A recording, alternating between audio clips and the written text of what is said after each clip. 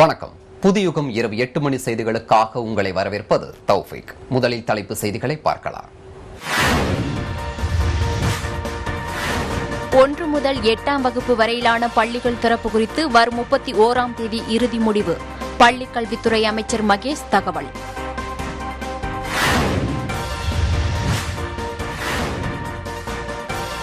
உள்ளாட்சி தேர்தலில் அதிமுக கூட்டணியிலிருந்து தேமுதிக பாமக விலகல். தனித்து போட்டியிடப் போவதாக விஜயகாந்த் ராமதாஸ் அறிவிப்பு.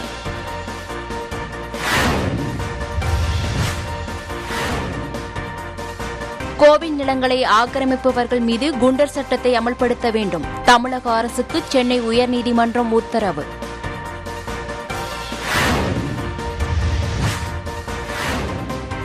தொடர் மழையால் முழு கொள்ளளவை எட்டியது ஆழியார் அணை. மதகுகள் வழியாக தண்ணீர் வெளியேற்றப்படுவதால் கரையோர மக்களுக்கு எச்சரிக்கை.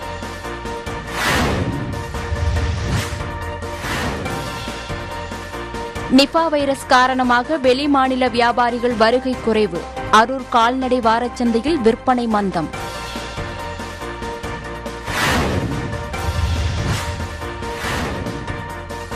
மயிலாடுதுறை சீர்காழி பகுதிகளில் குறுவை சாகுபடி அறுவடை பணிகள் தீவிரம். போதிய அறுவடை இயந்திரங்கள் இல்லாததால் விவசாயிகள் கவலை. அடுத்ததாக தேசிய மற்றும் சர்வதேச நிகழ்வுகளை பார்க்கலாம்.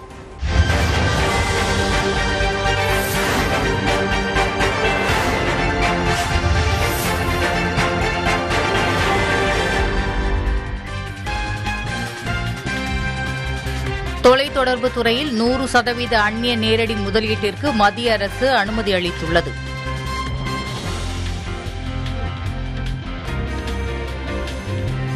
வாகன உற்பத்திக்கு அடுத்த ஐந்து ஆண்டுகளில் ரூபாய் நாற்பத்தி இரண்டாயிரத்து ஐநூறு கோடி அளவில் முதலீடுகள் ஈர்க்கப்படும் எனவும் மத்திய அரசு தெரிவித்துள்ளது.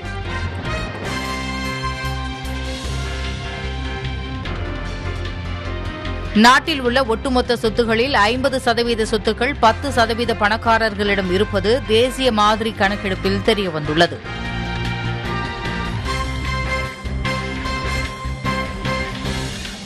காற்று மாசு அதிகரிப்பதை தடுக்கும் வகையில் டெல்லியில் இந்த ஆண்டும் தீபாவளியன்று பட்டாசு விற்பனை செய்யவும் வெடிக்கவும் தடை விதிக்கப்பட்டுள்ளது.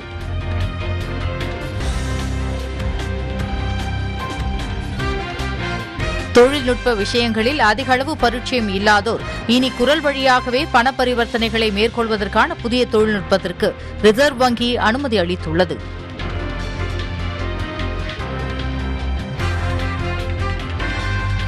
பங்குச்சந்தையின் இன்றைய வர்த்தக நேர முடிவில் சென்செக்ஸ் நானூற்று எழுபத்தாறு புள்ளிகளும் நிப்டி நூற்று முப்பத்து ஒன்பது புள்ளிகளும் உயர்ந்து காணப்பட்டன.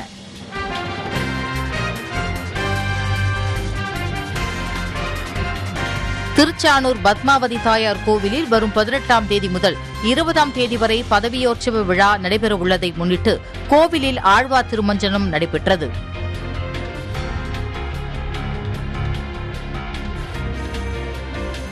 அமெரிக்காவில் டெல்டா வைரஸால் ஏற்பட்டிருக்கும் புதிய கோவிட் அலை விரைவாக உச்சம் தொடும் என்பதால் கவனமாக இருக்க வேண்டுமென மருத்துவ நிபுணர்கள் எச்சரித்துள்ளனா்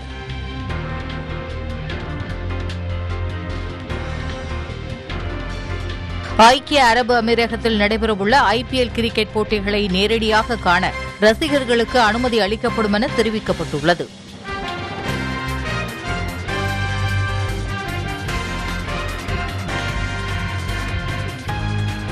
மகளிர் ஒருநாள் கிரிக்கெட் போட்டியின் தரவரிசை பட்டியலில் முன்னேறியுள்ள தென்னாப்பிரிக்காவின் லிசல் லீ இந்திய அணி கேப்டன் மிதாலி ராஜுடன் முதலிடத்தை பகிர்ந்து கொண்டுள்ளார்.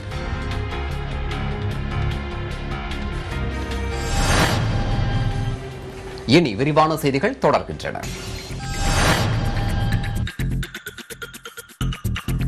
திருச்சி திருவெரும்பூர் கைலாசபுரத்தில் திருச்சி மாவட்ட ஆட்சித்தலைவர் சிவராசு தலைமையில் அரசு நலத்திட்ட உதவிகள் வழங்கும் விழா நடைபெற்றது. இதில் பள்ளிக்கல்வித்துறை அமைச்சர் அன்பில் மகேஷ் பொய்யாமொழி பங்கேற்று பயனாளிகளுக்கு வீட்டுமனை பட்டா காய்கறி விற்பனைக்கான தள்ளுவண்டி உள்ளிட்டவற்றை வழங்கினார். அப்போது செய்தியாளர்களிடம் பேசிய அவர் ஒன்று முதல் எட்டாம் வகுப்பு வரை உள்ள மாணவர்களுக்கு பள்ளிகளை திறக்கலாமா வேண்டாமா என்பது குறித்த பள்ளிக் கல்வித்துறையின் அறிக்கை முதலமைச்சரின் அலுவலகத்திற்கு இன்று அனுப்பி வைக்கப்படும் என்றும் தமிழ்நாட்டில் ஊரடங்கை நீட்டிப்பது குறித்த ஆலோசனைக் கூட்டம் வரும் முப்பத்தி ஒன்றாம் தேதி நடக்க உள்ளபோது பள்ளிகள் திறப்பது குறித்தும் முடிவு செய்து அறிவிக்கப்படும் என்றும் அமைச்சர் கூறினார்.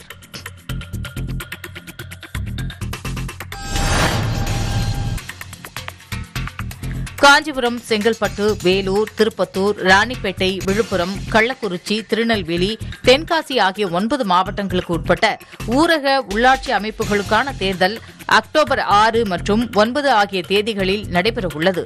இதையடுத்து தேர்தல் பணிகள் கூட்டணி உள்ளிட்ட பல்வேறு நடவடிக்கைகளில் அரசியல் கட்சிகள் இறங்கியுள்ளன.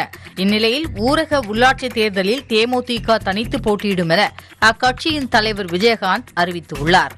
ஊரக உள்ளாட்சி தேர்தலில் தேமுதிக சார்பில் போட்டியிட விரும்புவோர் வரும் பதினாறாம் தேதி மற்றும் பதினேழு ஆகிய தேதிகளில் விருப்ப மனு பெற்று பூர்த்தி செய்து ஒப்படைக்க வேண்டுமென அக்கட்சியின் தலைவர் அறிவித்துள்ளார். அதேபோல பாட்டாளி மக்கள் கட்சியும் தனித்து போட்டி என அறிவித்துள்ளது. இது தொடர்பாக அக்கட்சியின் நிறுவனர் ராமதாஸ் கூறுகையில் கூட்டணி தர்மத்தை அதிமுக காப்பாற்றவில்லை. கடந்த தேர்தல்களில் அதிமுகவில் சீட் கிடைக்காதவர்கள் கூட்டணி கட்சிகள் போட்டியிட்ட தொகுதிகளில் எதிர்த்து போட்டியிட்டனர் எனவும் இதுகுறித்து அப்போதைய முதல்வர் பழனிசாமியிடம் முறையிட்ட போதும் அவரால் சொந்த கட்சியினரை கட்டுப்படுத்த முடியவில்லை எனவும் தெரிவித்துள்ளார். மேலும் தங்கள் கட்சியால் கூட்டணி கட்சிகள் பலனடைந்தன. ஆனால் கூட்டணியால் பாட்டாளி மக்கள் கட்சிக்கு பலன் இல்லை எனவும் ராமதாஸ் தெரிவித்துள்ளார்.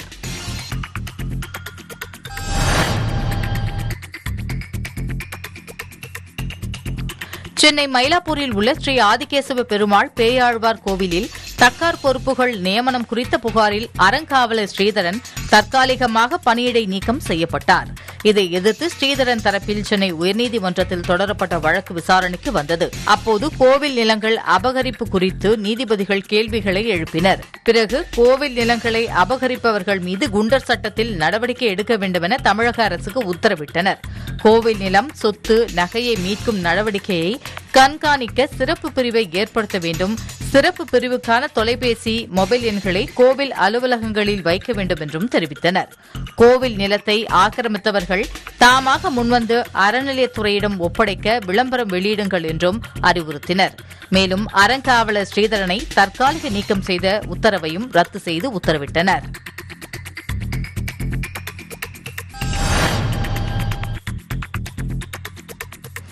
பொள்ளாச்சியை அடுத்துள்ள மேற்கு தொடர்ச்சி மலைப்பகுதியில் காடம்பாறை மற்றும் அப்பர் ஆழியார் நீர்பிடிப்பு பகுதியில் பெய்து வரும் தொடர் மழை காரணமாக அணைக்கு நீர்வரத்து அதிகரித்ததால் நூற்றி இருபது அடி கொள்ளளவு கொண்ட ஆழியார் அணை மூன்றாவது முறையாக முழு கொள்ளளவை எட்டியுள்ளது. இதனால் அணையின் பாதுகாப்பு கருதி பதினோரு மதகுகள் வழியாக தண்ணீர் திறக்கப்பட்டுள்ளது.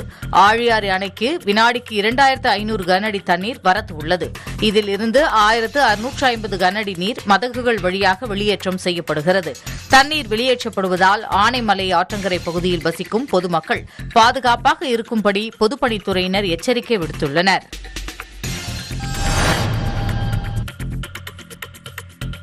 தமிழக முன்னாள் முதல்வர் அண்ணாவின் நூற்று பதிமூன்றாவது பிறந்த நாளை முன்னிட்டு அவரது சிலைக்கு முதலமைச்சர் ஸ்டாலின் மாலை அணிவித்து மரியாதை செலுத்தினார்.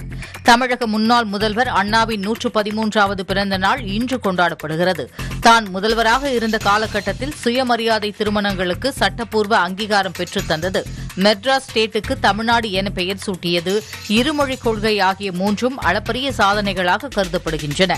அவரின் பிறந்த நாளான இன்று அண்ணாவின் சாதனைகளை பலரும் நினைவு கூர்ந்து வருகின்றனர். பல்வேறு அரசியல் கட்சித் தலைவர்கள் அவரது சிலைக்கு மாலை அணிவித்து மரியாதை செலுத்தி வருகின்றனர். இந்நிலையில் முதலமைச்சர் ஸ்டாலின் சென்னை அண்ணா சாலையில் உள்ள அண்ணாவின் சிலைக்கு மாலை அணிவித்து மரியாதை செலுத்தினார். பின்னர் அங்கிருந்து வள்ளுவர் கோட்டத்தில் உள்ள அண்ணா சிலைக்கும் மாலை அணிவித்து மரியாதை செலுத்தினார். இந்நிகழ்வுகளின் போது அமைச்சர்கள் துரைமுருகன் கே. என். நேரு பொன்முடி ஐ. பெரியசாமி மா. சுப்பிரமணியன் உள்ளிட்டோர் உடன்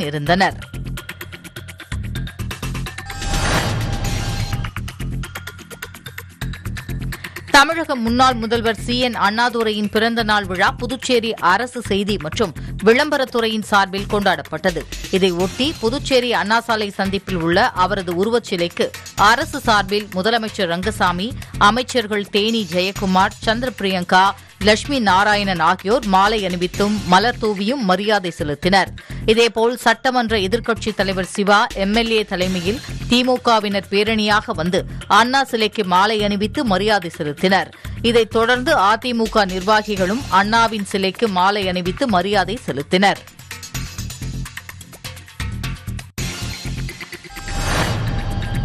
வணக்கம். செய்திகள் தொடர்கின்றன.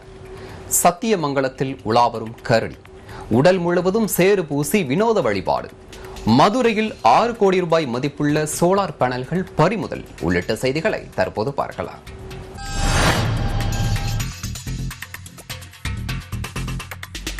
மயிலாடுதுறை மாவட்டம் சீர்காழி அருகே கடந்த சில நாட்களுக்கு முன்னர் பெய்த மழையால் அறுவடைக்கு தயாரான குறுவை பயிர்கள் முற்றிலும் சாய்ந்து தண்ணீரில் மூழ்கியுள்ளது. மழை நீரில் சாய்ந்த பயிர்கள் முளைத்துவிடும் அச்சத்தில் அறுவடை பணிகளை விவசாயிகள் துரிதப்படுத்தியுள்ளனர். மேலும் சாய்ந்த பயிர்களை செயின் வைத்த அறுவடை இயந்திரங்களால் மட்டுமே அறுவடை செய்ய முடியும் என்பதாலும் குறுவை சாகுபடி பணியை விவசாயிகள் மும்முரமாக செய்து வருவதாலும் அனைத்து பகுதிகளிலும் அறுவடை இயந்திர தட்டுப்பாடு ஏற்பட்டுள்ளது. மேலும் காலம் கடந்து தண்ணீர் வந்தும் சம்பா சாகுபடியை பணியை துவங்க முடியாமல் சீர்காழி சுற்றுவட்டார பகுதி விவசாயிகள் கவலையில் ஆழ்ந்துள்ளனர்.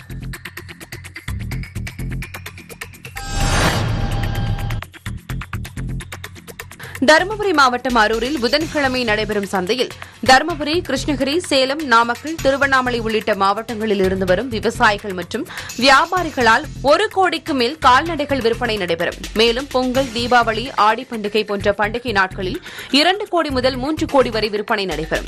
இந்நிலையில் கடந்த ஏப்ரல் மாதம் கொரோனா வைரஸ் தொற்று பரவல் காரணமாக வாரச்சந்தைகள் மூடப்பட்டது. தற்பொழுது வைரஸ் தொற்று குறைந்து வரும் நிலையில் தளர்வுகளுடன் நடந்த இன்றைய வார சந்தையில் ஐநூற்றுக்கும் குறைவான ஆடு மாடு உள்ளிட்ட கால்நடைகள் வந்திருந்தன. கொரோனா நிபா வைரஸ் காரணமாக கேரள வியாபாரிகளின் வருகை குறைந்ததுடன் அம்மாநிலத்திற்கான கால்நடைகள் ஏற்றுமதியும் குறைந்தது. மேலும் வெளியூர் வியாபாரிகள் மற்றும் விவசாயிகள் வருகை குறைவானதால் இன்றைய சந்தையில் முப்பது லட்சத்திற்கு மட்டுமே கால்நடைகள் விற்பனையானது.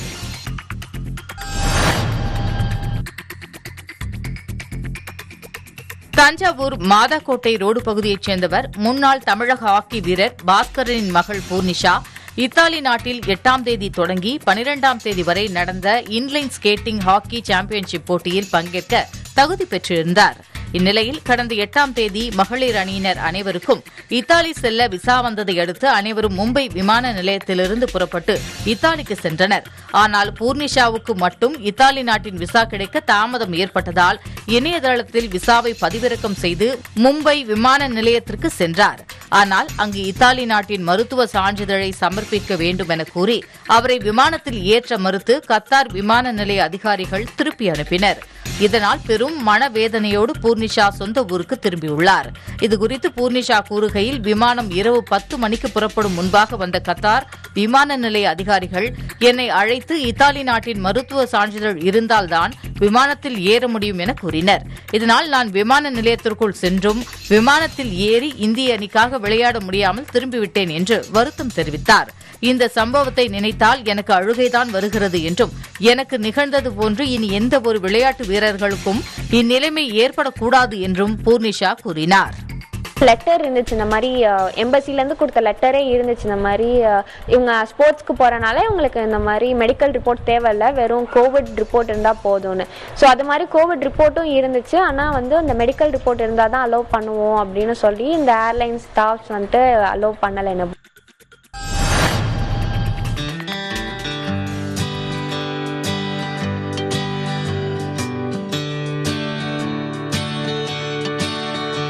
திண்டுக்கல் மாவட்டம் பழனியில் விவசாய குடும்பத்தில் பிறந்து கணினி மற்றும் எம்பிஏ ஆகிய பட்டப்படிப்பை முடித்தவர் அன்னபூரணி. அவருக்கு சென்னை பெங்களூரு போன்ற பெருநகரங்களில் வேலை கிடைத்தாலும் விவசாயம் சார்ந்த தொழிலில் ஆர்வம் தொடர்ந்தது. இந்த நிலையில் கால்நடைகளுக்கான இயற்கை தீவன தயாரிப்பில் வெற்றி பெற்ற அவர் அவற்றை கேரளா பெங்களூரு போன்ற இடங்களுக்கும் அனுப்பி வர்த்தகத்தை விரிவுபடுத்தியுள்ளார். வணக்கங்க. என் பேர் அன்னபூர்ணி. நான் பழனியில் இருக்கேன். நான் வந்து இந்த மாதிரி எம்பிஏ படித்தேன் ஐடி முடிச்சுட்டு எம்பிஏ படித்தேன் எனக்கு நிறைய ஜாப் ஆஃபர்ஸ் வந்தது. ஃபாரின் அந்த மாதிரி பெங்களூர் சென்னை இந்த மாதிரி நிறைய ஜாப் ஆஃபர்ஸ் வந்தது. ஆனாலும் இயற்கை சம்பந்தமான ஒரு தொழில் தான் பண்ணணும் அப்படிங்கிற ஆர்வம் வந்து எனக்கு முதல்ல இருந்தே இருந்தது. அதையும் நம்ம வந்து ஒரு பெரிய பெரிய அளவில் பிஸ்னஸ் பண்ணணும்னு எனக்கு முதல்ல இருந்து ஒரு ஆர்வம் இருந்தனால கடந்த ஒரு நாலஞ்சு வருஷமாவே எங்க பண்ணையில இருந்து ஆரம்பிச்சு நான் இதுக்காக நிறைய ஸ்ட்ரகிள்ஸ் பண்ணியிருக்கேன்.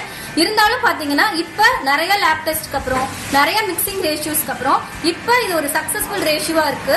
இதுல வந்து இந்த கலப்பு தீவனம் வந்து நிறைய பக்கம் போயிட்டு இருக்கு நிறைய ஸ்டேட்ஸ்க்கு போயிட்டு இருக்கு ரொம்ப நல்லா இருக்கு. இன்னும் நிறைய நல்லா படிச்ச இளைஞர்கள் எல்லாருமே இந்த அக்ரிகல்ச்சர் சம்பந்தமான தொழிலை முன்னெடுத்து நீங்க பண்ணணும். இது கண்டிப்பா உங்களுக்கு ஒரு சக்சஸ்ஃபுல்லா இருக்கும். இதன் மூலம் லட்சக்கணக்கான ரூபாய் லாபம் ஈட்டி அவர் இளம் தொழிலதிபராகவே வலம் வருகிறார். ஏசி அறையில் அமர்ந்து கொண்டு கம்ப்யூட்டர் முன்பு வேலை செய்யும் போது கிடைக்காத மனநிறைவு தனக்கு பிடித்த விவசாயம் சார்ந்த தொழிலில் ஈடுபட்டுள்ளதால் கிடைத்துள்ளதாக கூறுகிறார் அன்னபூரணி.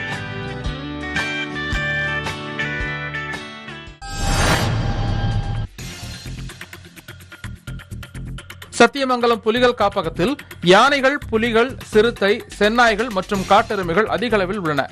அடர்ந்த காட்டுப்பகுதியில் உள்ள தலமலை பெஜலப்பட்டி தடசலட்டி உள்ளிட்ட மலை கிராமங்களுக்கு போதிய பேருந்து போக்குவரத்து வசதி இல்லாததால் பெரும்பாலானோர் இருசக்கர வாகனத்தில் பயணிக்கின்றனர்.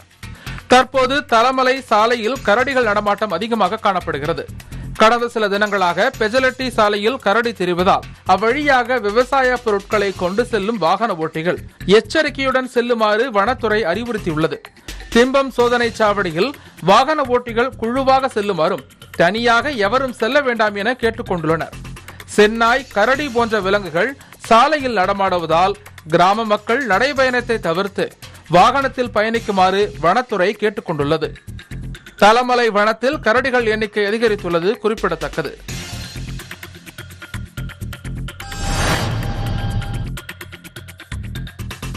ராமநாதபுரம் மாவட்டம் கமுதி அருகே செங்கப்படை கிராமத்தில் பக்தர்கள் நோய் தாக்கத்திலிருந்து உடல்நலம் ஆரோக்கியத்தை பாதுகாக்கும் வகையில் தங்களது உடல் முழுவதும் சகதி பூசி ஆசி பெற பக்தர்கள் வினோதமான முறையில் சேத்தாண்டி வேடமணிந்து வழிபாடு நடத்தினர்.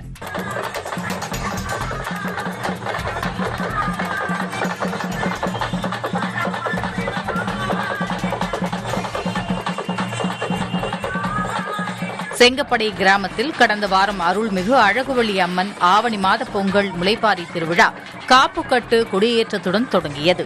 முக்கிய நிகழ்ச்சியான இன்று பால்குடம் அக்னி சட்டி சிலா குத்துதல் பூக்குழி இறக்குதல் அம்மனுக்கு பொங்கலிட்டு வழிபடுதல் நிகழ்ச்சிகள் நடைபெற்றது. இந்நிலையில் பக்தர்கள் தங்களுக்கு நோய் தாக்கத்திலிருந்து உடல் நலம் முழு உடல் ஆரோக்கியம் பெற வேண்டி வினோதமான முறையில் தங்களது உடல் முழுவதும் சகதிகளை பூசி வேப்பிலையை ஏந்தி ஆட்டம் பாட்டத்துடன் ஊர்வலமாக சென்று தங்களது நேர்த்திக் கடனை நிறைவேற்றினர்.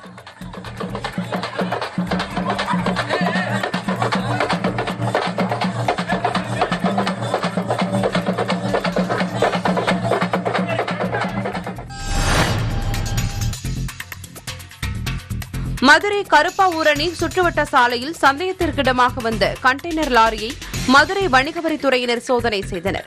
அப்போது ஆறு கோடி ரூபாய் மதிப்பிலான சோலார் பேனல்கள் உரிய ஆவணங்கள் இல்லாமல் கொண்டு வந்தது தெரியவந்தது. இதனைத் தொடர்ந்து சோலார் பேனல்கள் மற்றும் கண்டெய்னர் லாரியை பறிமுதல் செய்து விசாரணை நடத்தியதில் மும்பையில் உள்ள நிறுவனத்திலிருந்து நெல்லை மானூரில் செயல்படும் ஒரு நிறுவனத்திற்கு உரிய ஆவணங்கள் இல்லாமல் சோலார் பேனல்களை கொண்டு சென்றதும் இதன் மூலம் ஐம்பது லட்சம் ரூபாய் வரி ஏய்ப்பு செய்துள்ளதும் தெரியவந்தது. எனவே உரிய ஆவணங்களும் அபராத தொகையும் செலுத்தும் பட்சத்தில் சோலார் பேனலுடன் கண்டெய்னர் லாரி விடுவிக்கப்படும் என தெரிவித்துள்ள வணிகவரித்துறையினர். இது தொடர்பாக சம்பந்தப்பட்ட நிறுவனங்களிடம் விசாரணை நடத்த உள்ளதாகவும் தெரிவித்துள்ளனர்.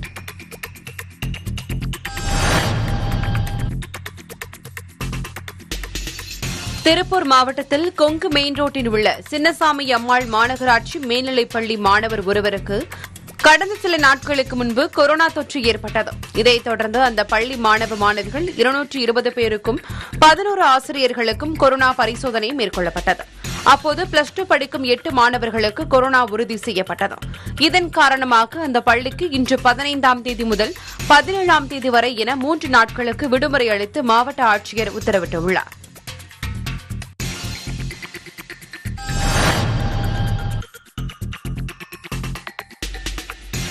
மதுரை கிழக்கு சட்டமன்ற தொகுதிக்குட்பட்ட கண்ணனேந்தல் பகுதியில் மக்களை தேடி மருத்துவம் என்கிற திட்டத்தினை வணிக வரி மற்றும் பதிவுத்துறை அமைச்சர் மூர்த்தி தொடங்கி வைத்தார். பின்னர் செய்தியாளர்களை சந்தித்த அவர் வணிக நிறுவனங்கள் அரசுக்கு செலுத்த வேண்டிய வரியை முறையாக செலுத்த வேண்டும் என அறிவுறுத்தினார். தமிழகம் முழுவதும் நூற்று மூன்று நிறுவனங்களில் வணிக வரித்துறை நடத்தி வரும் சோதனை மூன்று நாட்களாக தொடர்ந்து நடைபெறும் என்று தெரிவித்த அமைச்சர் மேலும் வரி ஏய்ப்பு செய்யும் நிறுவனங்களில் சோதனை தொடரும் எனவும் கூறினார்.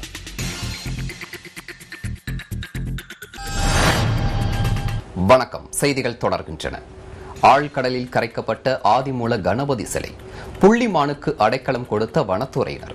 சூறை காற்றால் தீக்கிரையான கூரை வீடுகள். உள்ளிட்ட செய்திகளை தற்போது பார்க்கலாம். புதுச்சேரி முருகம்பாக்கத்தைச் சேர்ந்தவர் அறிவழகி ஓவிய பட்டதாரியான இவர் தலைவர்களின் பிறந்த நாளின் போது அவர்களது உருவங்களை ரங்கோலி மற்றும் பல்வேறு பொருட்களை கொண்டு ஓவியங்களாக வரைந்து அசத்தி வருகிறார். ஏற்கனவே அப்துல் கலாமின் உருவம் மற்றும் மாநில முதலமைச்சர் ரங்கசாமியின் உருவம் அன்னை தெரசாவின் உருவங்களை வரைந்து அசத்தினார்.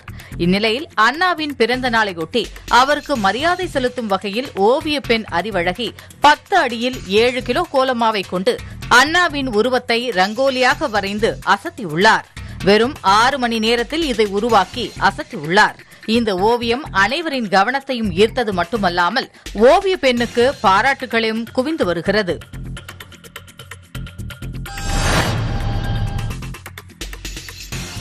நாமக்கல் மாவட்டம் ராசிபுரத்தை அடுத்த நடுப்பட்டி பகுதியில் வெங்கடாசலம் என்பவர் தனது தோட்டத்தில் உள்ள கிணற்றில் புள்ளிமான் ஒன்று தவறி விழுந்து உயிருக்கு போராடி உள்ளது. பின்னர் உடனடியாக அருகில் இருந்தவர்கள் ராசிபுரம் தீயணைப்பு மற்றும் வனத்துறையினருக்கு தகவல் தெரிவித்தனர். சம்பவ இடத்திற்கு வந்த தீயணைப்பு துறையினர் மற்றும் வனத்துறையினர் கிணற்றில் இறங்கி இரண்டு மணி நேரத்திற்கும் மேலாக போராடி புள்ளிமானை உயிருடன் மீட்டனர். மானுக்கு லேசான காயங்கள் இருப்பதால் கால்நடை மருத்துவமனைக்கு சிகிச்சைக்கு கொண்டு சென்று இரண்டு நாட்கள் வனத்துறை பாதுகாப்பில் வைக்கப்பட்டு மீண்டும் வனப்பகுதிக்குள் விடப்படும் என வனத்துறையினர் தெரிவித்தனர்.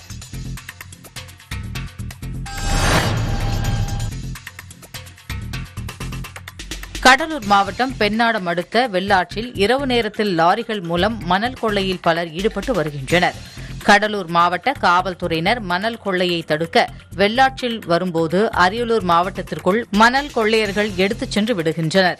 இதனால் கடலூர் மாவட்ட காவல்துறையினர் எந்த நடவடிக்கையும் எடுக்காமல் திரும்பி விடுகின்றனர். இதுபோல் அரியலூர் மாவட்ட காவல்துறையினர் வெள்ளாற்றில் மணல் கொள்ளையை தடுக்க வரும்போது கடலூர் மாவட்ட எல்லைக்கு இயந்திரங்களையும் வாகனங்களையும் எடுத்துச் சென்று விடுகின்றனர். இதனால் அரியலூர் மாவட்ட காவல்துறையினர் ஏமாற்றத்துடன் திரும்பி விடுகின்றனர். இந்த நிலையில் இரவு நேரத்தில் அரியலூர் மாவட்ட மணல் கொள்ளையர்கள் கடலூர் மாவட்டம் செம்பேரி கிராம பகுதிகளில் வெள்ளாற்றில் மணல் கொள்ளையில் ஈடுபட்டு வரும்போது கிராம மக்கள் மற்றும் இளைஞர்கள் மணல் கொள்ளையர்களை சிறைப்பிடித்து போராட்டம் செய்தனர். இதனால் சம்பவ இடத்திற்கு வந்த பெண்ணாடம் காவல்துறையினர் கடலூர் மாவட்ட எல்லை இல்லை என கூறி அரியலூர் மாவட்ட தளவாய் காவல்துறைக்கு தகவல் அளித்தனர். இதுபோன்ற சூழ்நிலை தொடர்கதையாக உள்ளது. பின்னர் இரு மாவட்ட காவல்துறையினரும் சமரசம் செய்து கூட்டத்தை கலைத்தனர்.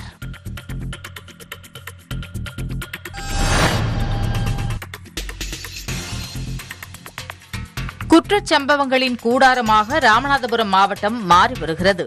மாவட்டத்தில் ஒரே நாளில் பல்வேறு இடங்களில் நடந்த தொடர் திருட்டில் இருபத்தோரு பவுன் நகை ஒரு லட்சத்து இருபதாயிரம் ரூபாய் பணம் கொள்ளையடிக்கப்பட்டுள்ளது.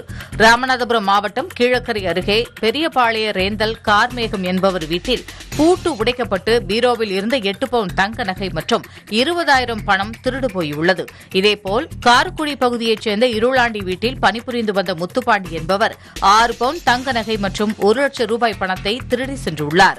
புகாரின் அடிப்படையில் ராமநாதபுரம் பஜார் காவல் நிலைய போலீசார் முத்துராமலிங்கத்தை கைது செய்து அவரிடமிருந்து ஒரு லட்சம் பணம் மற்றும் ஆறு பவுன் தங்க நகையை பறிமுதல் செய்தனர். மேலும் இதேபோன்று சத்திரக்குடி அருகே முதலூர் கிராமத்தைச் சேர்ந்த அம்மாளு என்ற பெண் ஒருவரிடம் அணிந்திருந்த தாலி செயின் தாலி குண்டுமணி தங்க காசு உள்ளிட்ட ஏழு பவுன் தங்க நகைகள் மர்ம நபர்கள் திருடி சென்று உள்ளனர். இதுகுறித்து சத்திரக்குடி போலீசார் வழக்கு பதிவு செய்து விசாரணையில் ஈடுபட்டு வருகின்றனர்.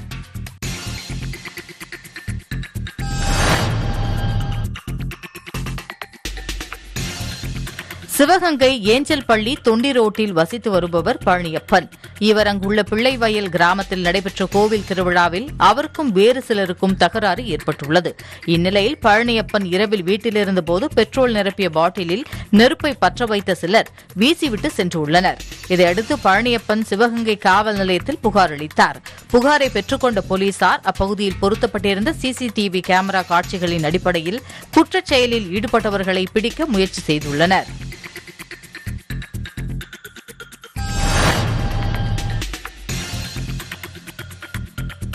திருப்பூர் மாவட்டம் உடுமலை அருகே தேவனூர் புதூரில் தமிழக முதலமைச்சரின் விரிவான மருத்துவ காப்பீட்டு திட்டத்தின் கீழ் மாபெரும் கண் சிகிச்சை முகாம் நடைபெற்றது.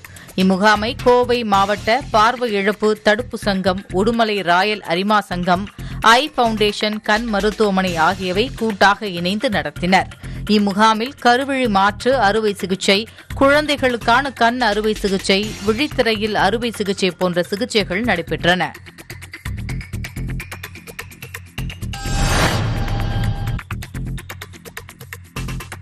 புதுச்சேரி நெட்டப்பாக்கத்தை அடுத்த எரிப்பாக்கம் நத்தமேடு கிராமத்தில் அடுத்தடுத்த கூரை வீடுகள் தீப்பிடித்தது. இதில் ஐந்திற்கும் மேற்பட்ட வீடுகளின் உடைமைகள் மாணவர்களின் சான்றிதழ்கள் மற்றும் புத்தகங்கள் அனைத்தும் முழுமையாக எரிந்து தீயில் கருகி சாம்பலாகியுள்ளன. தொடர்ந்து சம்பவ இடத்திற்கு வந்த நெட்டப்பாக்கம் காவல்துறையினர் நடத்திய விசாரணையில் மின்கசிவு காரணமாக அந்த தீ விபத்து ஏற்பட்டதாக தெரியவந்துள்ளது. அதிர்ஷ்டவசமாக உயிர் சேதம் ஏதும் ஏற்படவில்லை.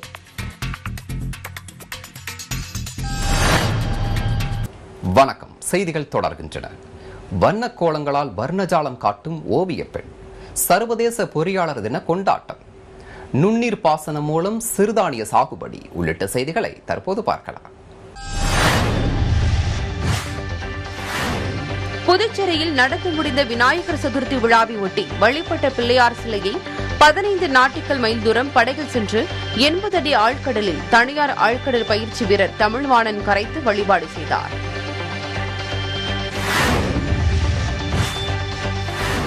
ஆண்டுதோறும் செப்டம்பர் பதினைந்தாம் தேதி கட்டட பொறியியலின் தந்தை என கருதப்படும் விஸ்வாஸ்ரய்யாவின் பிறந்தநாள் விழா கொண்டாடப்படுகிறது. இந்த விழா சர்வதேச பொறியாளர் தின விழாவாகவும் அனுசரிக்கப்பட்டு வருகிறது. அதன் ஒரு பகுதியாக புதுக்கோட்டை அண்ணா சிலை அருகே கட்டிட பொறியாளர்கள் சங்கத்தைச் சேர்ந்தவர்கள் பொதுமக்களுக்கு மரக்கன்றுகள் வழங்கியும் இனிப்புகளை கொடுத்தும் தங்களது மகிழ்ச்சியை வெளிப்படுத்தினர். இந்த விழாவில் புதுக்கோட்டை சட்டமன்ற உறுப்பினர் முத்துராஜா கலந்து கொண்டு பொதுமக்களுக்கு மரக்கன்றுகளை வழங்கினார்.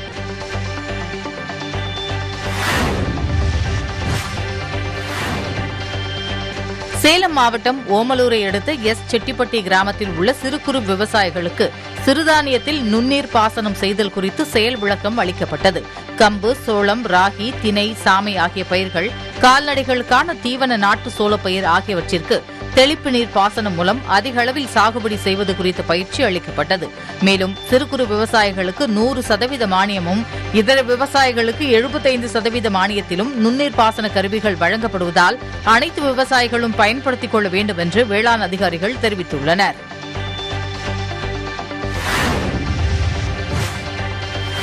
கள்ளக்குறிச்சி மாவட்டம் மணிமுத்தாறு அணையில் இன்று அதிகாலை மீன்பிடி திருவிழா நடத்தப்பட்டது.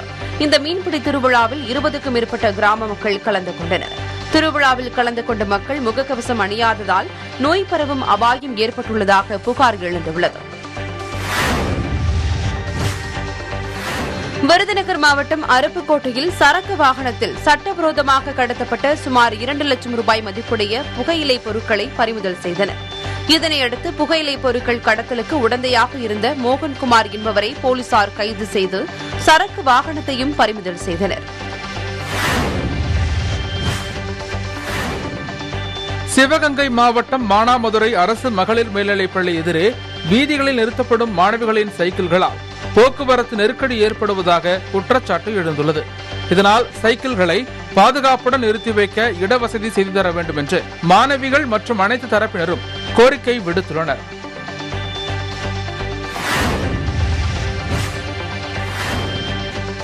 திருவாரூர் மாவட்டம் திருத்துறைப்பூண்டியில் சாலையோரங்களில் சட்டவிரோதமாக ஆக்கிரமிப்பு செய்யப்பட்ட பகுதிகளை நெடுஞ்சாலைத்துறையினர் அகற்றினர். திருவாரூர் சாலை மன்னை சாலை பழைய பேருந்து நிலையம் புதிய பேருந்து நிலையம் ஆகிய பகுதிகளில் சாலையோரங்களில் சட்டவிரோதமாக ஆக்கிரமிப்பு செய்யப்பட்ட பகுதிகள் மீட்கப்பட்டுள்ளன.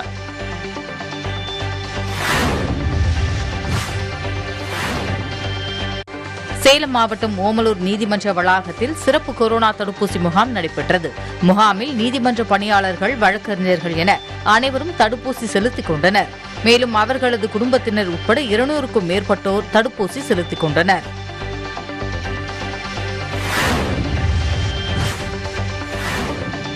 விழுப்புரம் மாவட்டம் திண்டுவனத்தை சுற்றியுள்ள பகுதிகளில் ஊறுகாய்க்கான வெள்ளரிக்காய்கள் கொள்முதல் செய்வதற்காக வணிக நிறுவன மேலாளர் ராஜா மற்றும் ஊழியர்கள் காரில் சென்று கொண்டிருந்தனர்.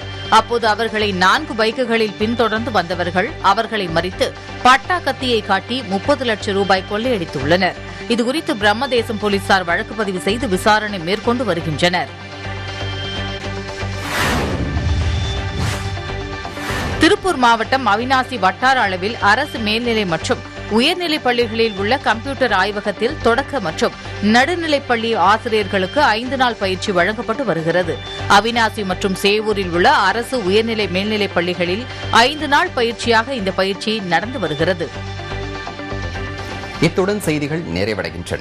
புதியுகத்தின் அடுத்த செய்தி தொகுப்பு நாளை காலை எட்டு மணிக்கு. நன்றி.